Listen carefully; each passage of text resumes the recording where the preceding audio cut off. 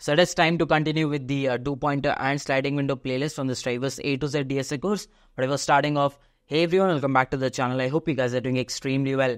So the problem that we will be solving today is maximum points you can obtain from n cards. So what is the problem stating? It's stating that you'll be given an array which contains the point of n different cards for an example, the first card will give you a point 6, the second card will give you a point 2, and this card, the last card, will give you a point 1. Now, you're also given an integer k. Now, what does k signifies?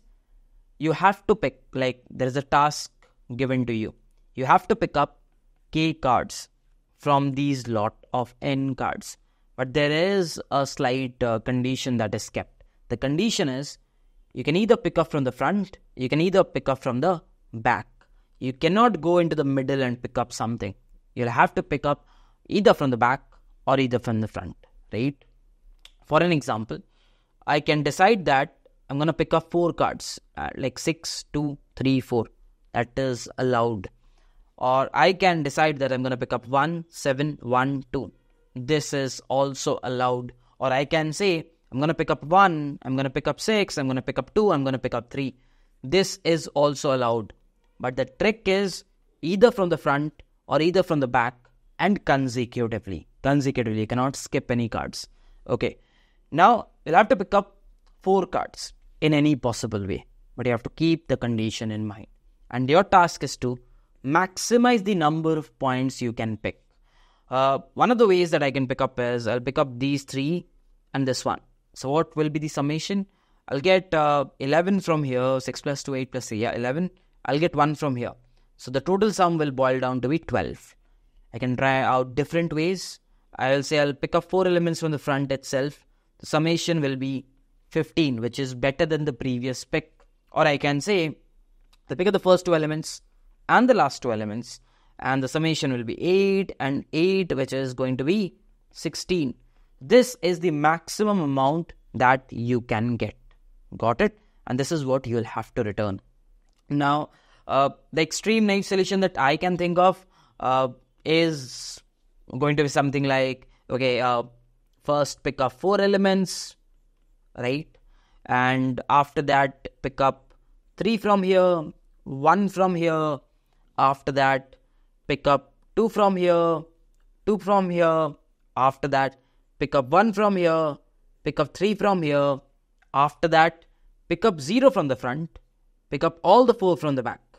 And out of all these configurations, whichever gives you the maximum point will be your answer. Now, this is the basic thing that will come to my brain, right?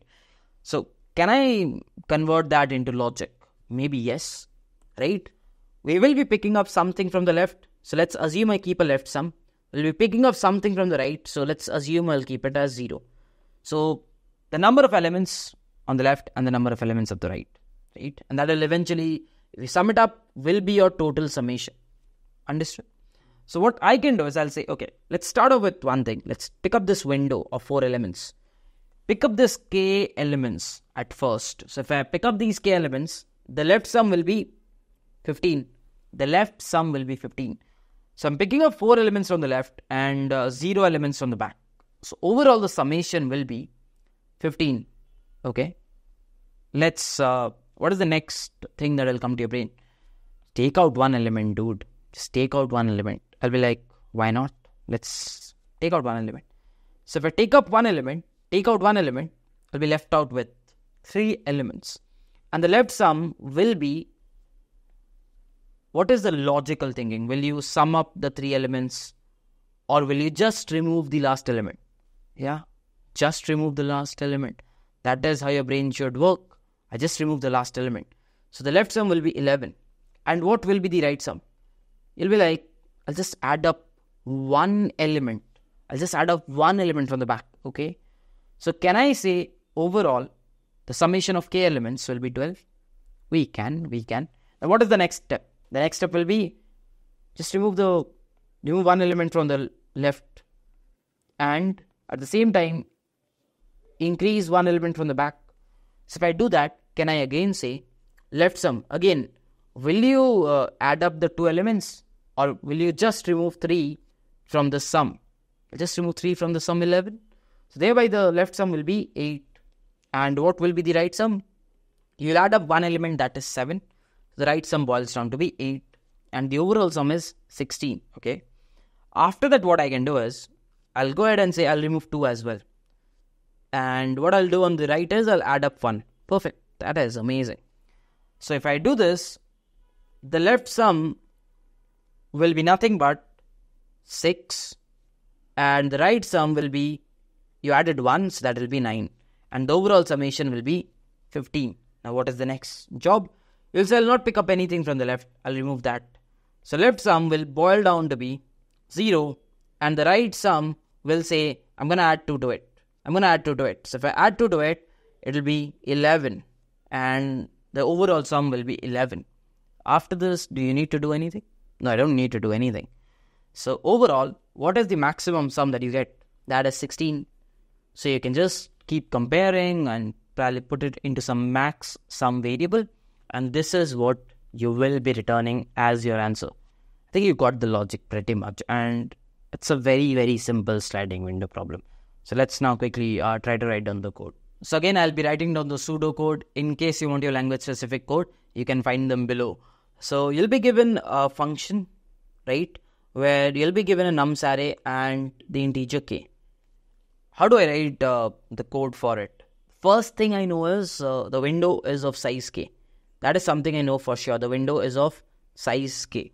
So why can't I say, okay, left sum is uh, equivalent uh, to uh, 0 and then I can just loop from 0 till k minus 1th index and I can say left sum is left sum plus nums of i.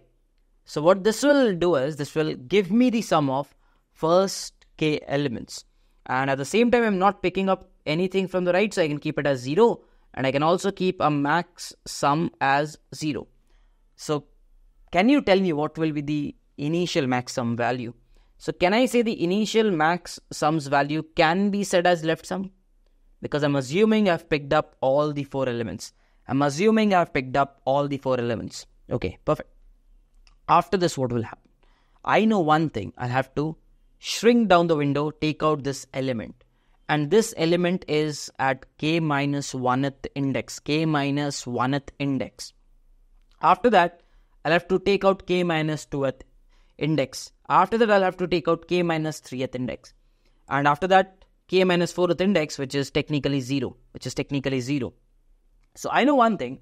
I'll have to go on from k minus 0 till the 0th index and every time I take out one element.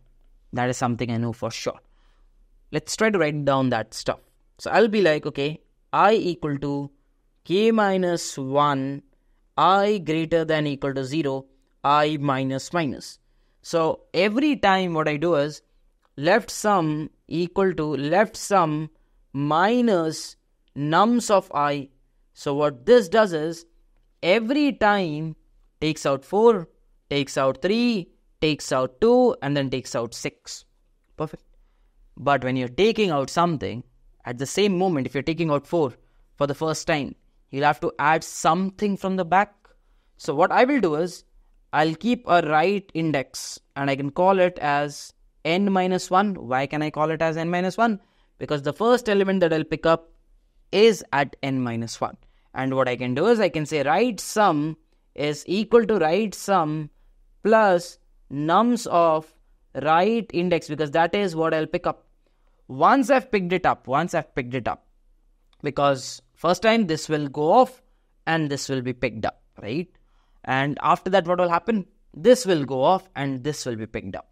So the right index from here has to move here. So please make sure the right index also keeps moving by one place to back because for the next time it has to go down as well. It has to go down. Perfect. Now I have a left sum, I have a right sum. So can I say max sum will be max of max sum comma left sum plus right sum. Can I say this? I can. And eventually can I go ahead and return max sum I can, and that will be it. Super simple. What is the time complexity? This one is taking a big O of k. This one is taking another big O of k. Am I using any extra space? I'm not. So can I say that the overall time complexity will be big O of 2 into k and the overall space complexity will be big O of 1. Yes.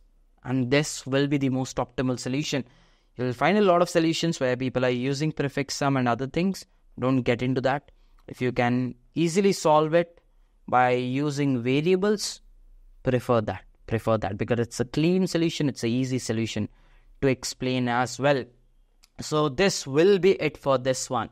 So if you're still now watching and if you've understood everything, please, please do consider giving us a like. And if you're new to our channel, do consider subscribing to us as well. With this, I'll be wrapping up this video. Let's finish up the video. Till then, bye bye. Take care.